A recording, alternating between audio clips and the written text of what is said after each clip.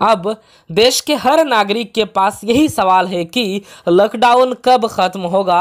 Lockdown क्या 15 अप्रैल के बाद ख़त्म हो जाएगा? तो इसी के बारे में आज की इस वीडियो के माध्यम से आप लोगों को एक ज़रूरी इन्फॉर्मेशन देने वाला हूँ।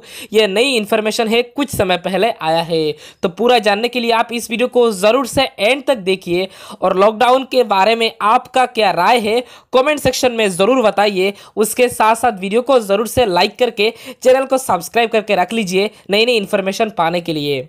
कोरोना के संक्रमण को रोकने के लिए प्रधानमंत्री नरेंद्र मोदी की अपील पर देश में 21 दिनों का लॉकडाउन है, जिसकी तारीख 14 अप्रैल को खत्म हो रही है।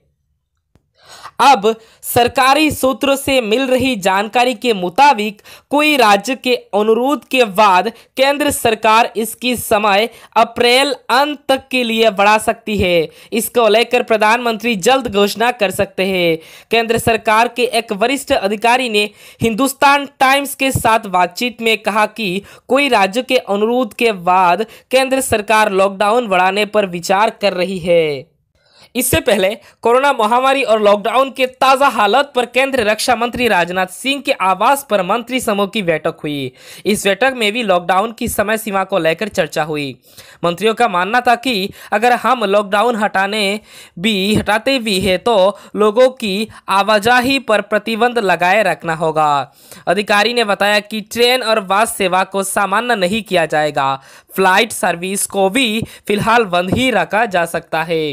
अधिकारी ने यह भी बताया कि इस बैठक में जो बातें सामने निकल कर आई है, उससे प्रधानमंत्री नरेंद्र मोदी को अवगत कराया जाएगा। इसके बाद पीएम जल्द ही लॉकडाउन की अवधि बढ़ाने का निर्णय ले सकते हैं। कल प्रधानमंत्री नरेंद्र मोदी के नेतृत्व में वीडियो कॉन्फ्रेंसिंग के माध्यम से कैबिनेट की बैठक हुई।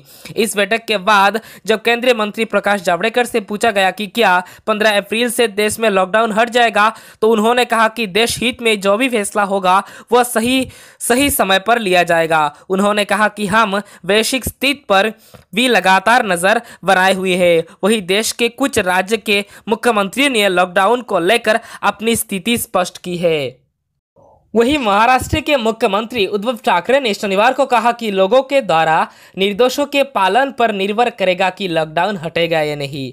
और सीएम योगी आदित्यनाथ ने भी कहा कि 15 अप्रैल से लॉकडाउन खोलता है तो हालात बहुत चुनौतीपूर्ण होंगे।